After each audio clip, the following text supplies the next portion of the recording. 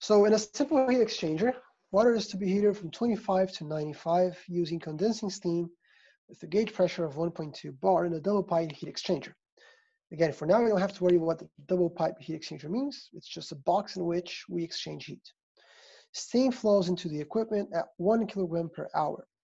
At 1.2 bar, the temperature of the condensed steam is 104.8 Celsius. Now, how convenient is that, right? Exactly the same thing that I showed you before, steam latent heat vaporization.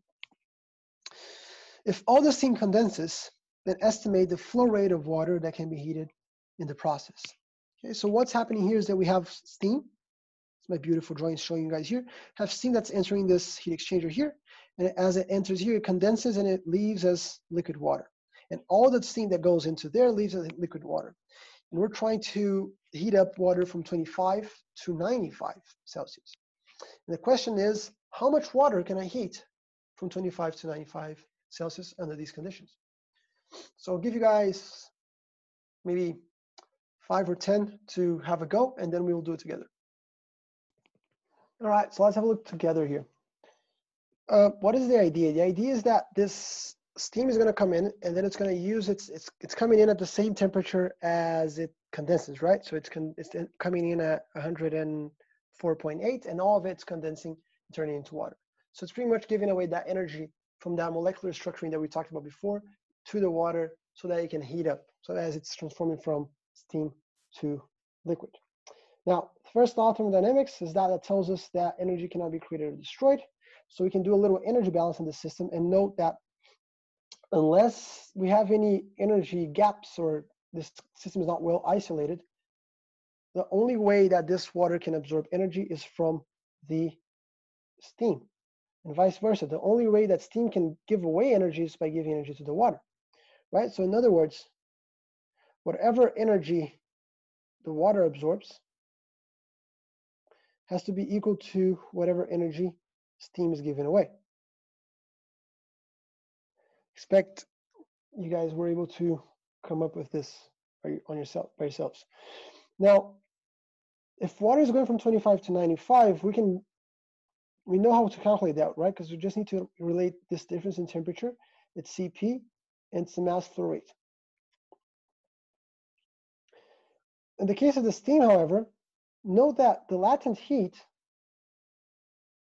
doesn't require temperature, right? Because we're only interested because it's always going to stay in the same temperature, in this case 104.8. Because it's always going to stay in 104.8, doesn't, doesn't really matter what's the temperature. It doesn't matter how much uh, mass we have for that.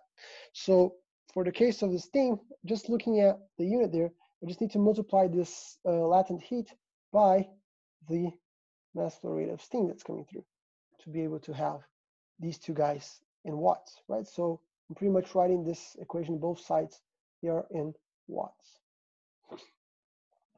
Okay, so that means that if my if I want to know what's the mass flow rate that I can put through the system, I just need to multiply the latent heat from the steam by the mass flow rate of the steam and divide that by the latent of the water, uh, sorry, the specific heat of the water and the delta T of the water. Now something interesting happens here. Check it out. Check out what happens here. I'm going to look at the units of this part that I just highlighted in green here. Okay, I'm going to look at the units there. So what are the units? Well, the latent heat is energy, right? It's megajoules. We're going to convert that into kilojoules, but just leave megajoules for now, uh, by kilogram. The specific heat for water, it's going to be kilojoules, also energy, kilogram, Kelvin. And the difference in temperature is going to be Kelvin or Celsius. So know that this, the whole thing is going to go away. Kilograms, kilograms, Kelvin, Kelvin. And then obviously you're going to have to transform the mega into kilo, but then the two energy guys are going to go away. So that is to say that whatever unit is here on the mass flow rate of steam is going to be the same unit we're going to find for the mass flow rate of water. The reason why I'm telling you is that because I know a lot of you guys were tempted to convert this into kilogram per second. And there's nothing wrong with that. Absolutely, it's 100% fine. But you don't have to if you don't want to. Okay, check it out. The mass flow rate of water will be the latent heat, that's 2.20, what was it, 03 times 10 to the third and that is kilojoules per kilograms, no Kelvin. And then we're dividing it by the CP of water, which is 4.2 kilojoules per kilograms Kelvin. And the delta T, which is from, uh, what was it, 95 to 25? So that's 70 Kelvin or Celsius.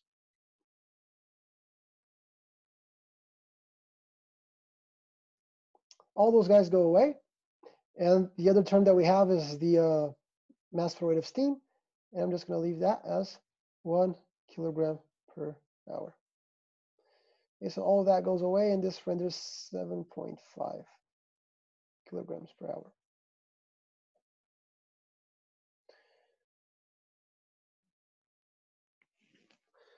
So what we're saying here is that the energy that comes from the condensation of steam, which is called latent heat, is capable under these conditions, under if we have one kilogram of steam coming into this heat exchanger, is capable of heating up water from 25 to 95 at a rate of 7.5 kilograms per hour.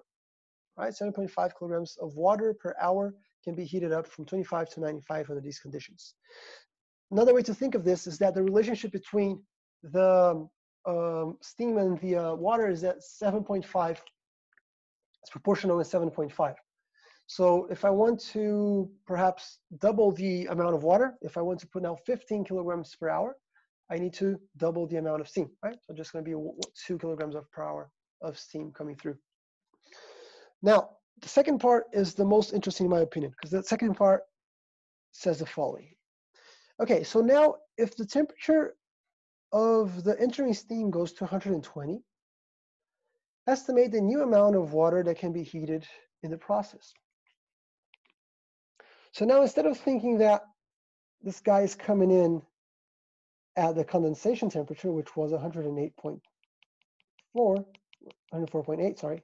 Instead of thinking this, let's let the steam come in at 100 and, here.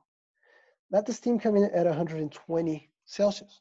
Why? Because now it's going to come in at 120, and then it's going to go from 120 down to 104.8, and then condense. So not only will we have the energy from the condensation of the water, but we're also going to have the, the energy from the uh, steam going from 120 to 104.8. So in other words, we're going to have a little boost of energy, right? Let's look at the graph to see this better. Okay, so picture, picture this. Before we had steam coming in at this temperature, it's not 100, okay? It's 104, but just for the sake of argument. It's coming at this temperature, and then it's giving away this energy all the way until it becomes water, and then it leaves the system. And this amount of energy, we can think about this energy here, which is this x-axis here. This amount of energy was being used for the water to be heated up, right? Now, instead of coming in at 104, the guy is going to come in at 120, like so. And if it's coming in at 120, we're going to have, still going to have this amount of energy that we had before. Going to have this amount of energy that we had before, like, like that but also going to have a boost. Right? I'm going to have a little boost here that is due to the steam going from 120 to 104. And the question is, how much more water can I um, put through? How much more water can I heat with that extra boost? Now, what, I would like you guys to think is just keep it in your heads whether you think that's going to be a tiny difference and considerable difference or a significant difference. Like, so let's imagine think if, it, if the final result is going to be like, it's going to go from 7.5 to 7.7, or it's going to go to, I don't know, 15, 14 or so, or it's going to be like 20 or something, right? a significant increase. Just keep it in your heads, think of what, how much this is going to represent, and let's do the math for this. So we just did part A of the question.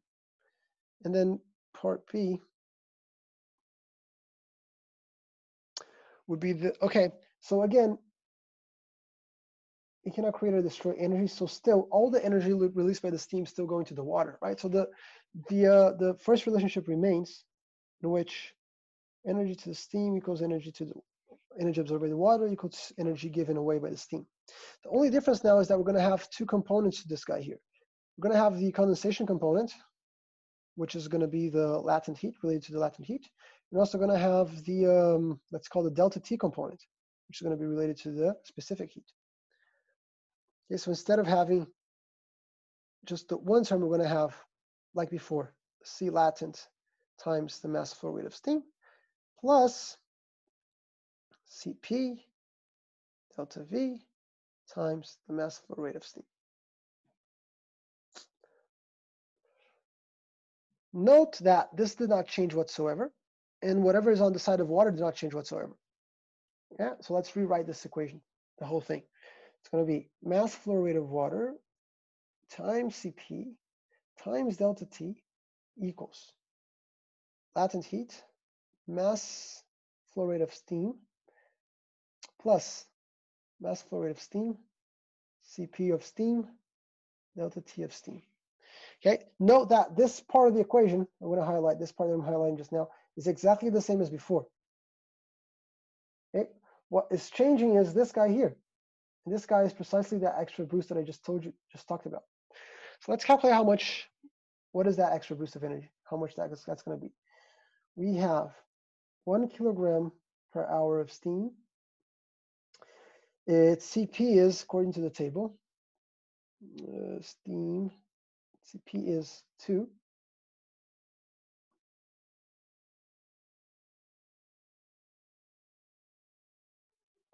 And its delta T is 120 minus eh, 105-ish, right? So this is going to render about 15. 15 times 2, that's going to be about 30. So that boost of energy will be like 30 kilojoules. like 30 kilojoules coming through extra. You guys recall, remember what this was? This was 2.2 times 10 to the third kilojoules per hour as well. So we're talking about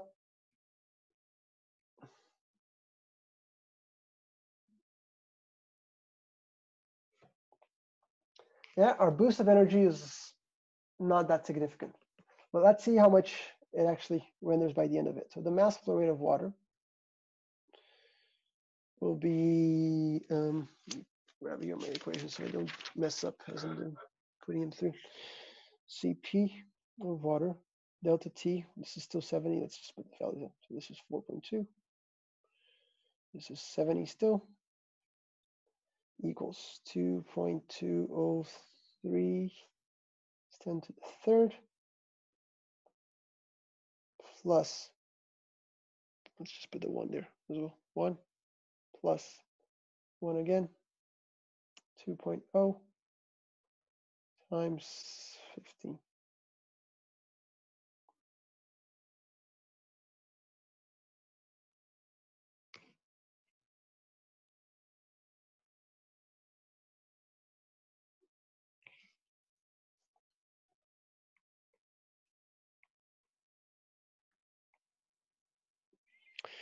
So we went from 7.5 to 7.6. We got a 0.1 kilogram per hour extra from the boost. That's a 1.3% uh, increase from 7.5 to 7.6. A 1% increase with that extra boost. Okay, so if you guys look at the graph, that makes sense, right? Because check it out. Just looking at the graph, let's actually get the, some proper values in here. I know this is not for the correct pressure, but at least for the sake of imagining, check it out. This is 100, so this is 120 over here. So we can follow this line all the way here. And then we can go down this line, it's gonna be somewhere around here. So the extra boost is gonna be something like this much in comparison to the blue thing, which is from here down to there all approximately because again, this is not the 1.2 bar, but this guy here, that's the extra boost that we just talked about. Just by looking at the graph, you can see it's little in comparison to the blue part, which is due to the latent heat.